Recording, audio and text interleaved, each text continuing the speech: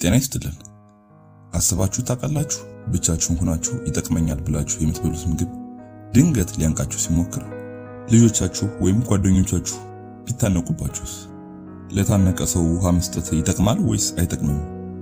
ለሁሉም ለታነቀ ሰው ተመሳሳይ ቅደም ተከተሎችን ነው የምንከተለው ወይስ ይለያያል? ሕፃናትንስ እንዴት መርዳት እንችላለን የሚለውንና ሌሎችንም የምናይ ይሆናል።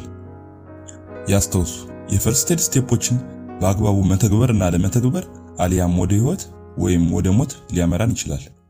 ከመጀመራችን በፊት subscribe በማድረግና የደውል ምልክቷን በመጫን አዳዲስ የሚለቀቁ ዕውቀት አዘል ቪዲዮዎች ይደርሶታል። ቤተሰብ ስለሆኑ ከልብ እናመሰግናለን። choking ወይም መታነቅ የምንለው የመተንፈሻ ቱቦአችን በከፊል አሊያም ሙሉ በሙሉ ሲዘጋ ነው። አዋቂዎች ጋር በአብዛኛውን ጊዜ በምግብ ምክንያት ሲሆን ህፃናት ጋር ትናንሽ የሚጫወቱባቸው አሻንጉሊቶች፣ ሳንቲሞች አሊያም ብዮች እና ሌሎችም ይጠቀሳሉ። የመተንፈሻ ቱቦአችን በሚዘጋበት ጊዜ ወደ ሰውነታችን የሚሄደው ኦክሲጅን በጣም ይቀንሳል። በዋነኝነት ጭንቅላታችን ለኦክሲጅን እጥረት በጣም ተጋላጭ ነው። የኦክሲጅን እጥረቱ ቶሎ ካልተፈታ በአምስት ደቂቃ ውስጥ brain cell death ወይም የጭንቅላታችን ህዋሶች መሞት ይጀምራሉ።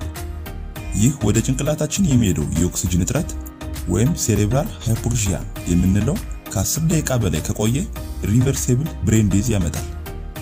ሰዎች choking ሲያጋጥማቸው ከሚያሳዩት ምልክቶች ውስጥ ማውራት አለመቻል ወይም በትክክል ማውራት አለመቻል፣ መሳል ወይም መሳል አለመቻል።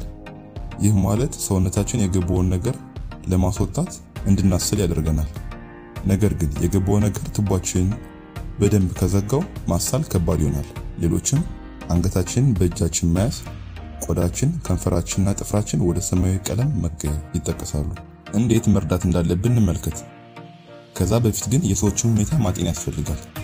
በደንብ ማውራት ወይም መሳል የሚችሉ ከሆነ አየር ስበው በደንብ እንዲያስሉ ብቻ ነው ማበረታታት ያለብን። ነገር ግን እየሳሉ ጀርባቸውን እየመታን ለመርዳት ብንሞክር አየር ቱቧቸው ጋር የተሰነቀረው ነገር ወደ ሳንባቸው ወርዶ የባሰ ችግር ሊያጋጥማቸው ይችላል። ሌላኛው ደግሞ ሁላችንም የምናደርገው ሩጠን ውሃ መስጠት ወይም ውሃ መጠጣት ነው። ይህ ነገር የሚረዳው የምግብ ቱቧችን ውስጥ ምግብ ተሰንቅሮ አልወርድ ካለ ብቻ ሲሆን በዚህ ጊዜ የመተንፈስ ችግር አያጋጥምም። ነገር ግን የመተንፈስ ችግር አጋጥሟቸው ውሃ የሚሰጣቸው ከሆነ ችግሩን ይበልጥ ያባብሰዋል። በተጨማሪም በአፋችን የገባው ነገር በእጃችን ለማውጣት በደንብ የማንደርስበት ከሆነ በእጃችን ለማውጣት መሞከር አይመከርም። ምክንያቱም ወደ ታች ወርዶ የመተንፈሻ ቱቧችን ይበልጥ ሊዘጋው ይችላል።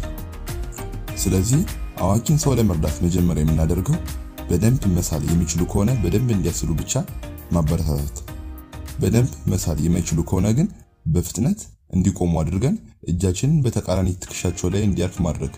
ከዛ በጀርባቸው ሆነን ምስሉ ላይ እንደሚታየው የላይኛው የጀርባቸውን ክፍል በአንድ መዳፋችን አምስት ጊዜ በደንብ መምታት።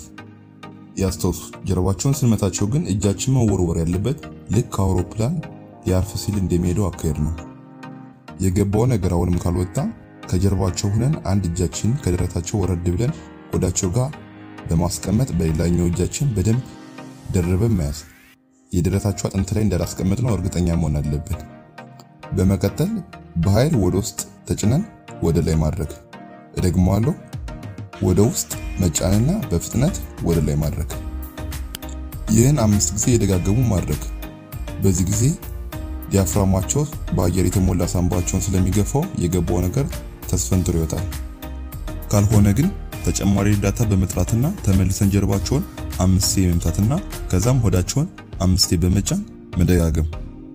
ይህን ማቋረጥ የለብንም። አምስቴ ሆዳቸውን መጫን፣ አምስቴ ጀርባቸውን መምታት። የምናቋረጠው የገባው ነገር እስኪወጣ ወይም ደግሞ እራሳቸውን እስኪስቱ ድረስ ነው። እራሳቸውን ከሳቱብን CPR መጀመር ይኖርብናል።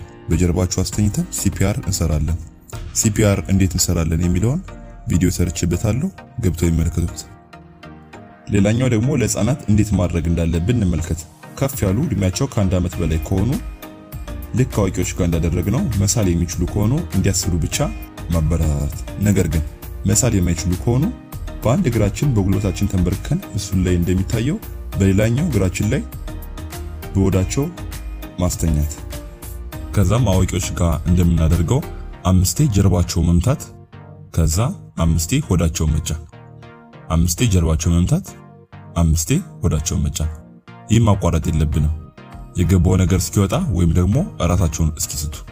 ራሳቸውን ከሳቱብን ሲፒአር መጀመር ይኖርብናል። ይህ ሁሉ ስናደርግ ግን የሕክምና እርዳታ ተጨማሪ የሕክምና እርዳታ መጥራቻችንን አንዘንጋ።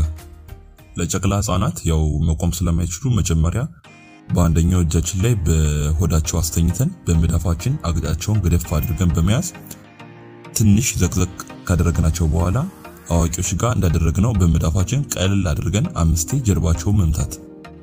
ከዛም በሌላኛው እጃችን ቀይረን በጀርባቸውን ካስተኛናቸው በኋላ በሁለት ጣታችን ብቻ ሆዳቸውን አምስቴ መጫን። ጀርባቸውን አምስቴ መምታት፣ ሆዳቸውን በሁለት ጣታችን ብቻ አምስቴ፣ ጀርባቸውን፣ ሆዳቸውን። ይህን መደጋገም የገባው ነገር እስኪወጣ ወይም ደግሞ ራሳቸውን እስኪስቱ።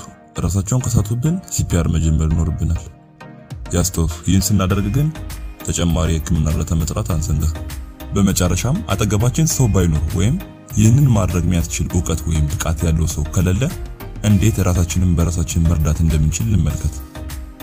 የምናደርገው ነገር ተመሳሳይ ነው። መሳል የምንችል ከሆነ በደንብ ለመሳል መሞከር ብቻ። ነገር ግን መሳል የማንችል ከሆነ ጀርባችንን መምታት ስለማንችል እጃችንን አቆላልፈን ሆዳችን ላይ በማድረግ በኃይል መጫን አሊያም ወንበር ወይም ጠረጴዛ ጋር በሆዳችን በመተኛት በደንብ ሆዳችንን መግፋት። ይህን ስናደርግ ግን ተጨማሪ እርዳታ መፈለግ ወይም መጥራት አንዘንጋ። like ማድረግዎን አይርሱ። በቀጣይ ቪዲዮ እስክንገናኝ ጤና ይስጥልን።